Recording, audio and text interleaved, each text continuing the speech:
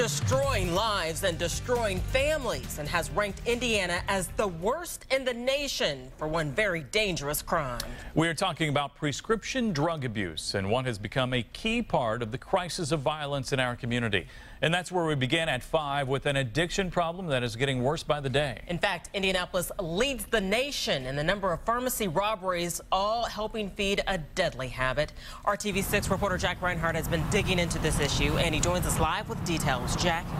Well, Erica, any way you look at the numbers, they aren't good. As a city and as a state, it only means more crime, more broken families, and more broken individuals. A prescription for danger. Another pharmacist staring down the barrel of an armed suspect demanding strong opiate based painkillers. And for three consecutive years, Indiana has led the nation in pharmacy robberies. In 2012, the state had 97 drugstore robberies, more than twice the number of the next two leading states. Even worse, the city of Indianapolis led the nation in armed robberies. People, it seems, will resort to any means necessary to feed their addictions.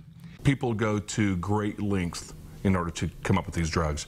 Lying, cheating, not only lying, cheating to pharmacies, doctors, nurse practitioners, uh, LPNs, nurses, family members, us, yeah, we get lied to, uh, but anything to get that fix. In the past two years, the caseload of the police department's prescription fraud unit has skyrocketed more than 30 percent, a number driven, police say, by people like Michael Biggers, now on his way to prison after six convictions for drug fraud. At one time, Jeff Feinland found himself in the same fix. Um, yeah, I revert, reverted to doing no less than what somebody would do if they were on heroin or anything else.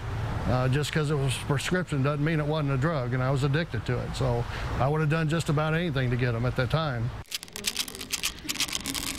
Painkillers have become more potent, more addicting, and more lethal. In the past 15 years, the number of overdose deaths in Indiana has quadrupled.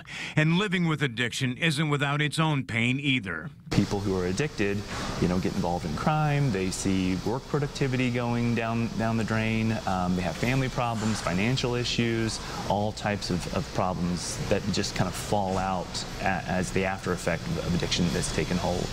Jeff Feinland is proof that people can break the hold on prescription drugs. Hope and help is there for people who ask for it. There's people that can help you. Uh, don't sit there and, st and, stay in it. You're gonna. It, there's only two ways you'll end up, and that's either dead or in jail. Unfortunately, there are no quick fixes. Recovery is slow, expensive, and ongoing. And while we as a society want to view addicted people in the context of somebody struggling with disease, at the same time, society views them as criminals deserving of prosecution.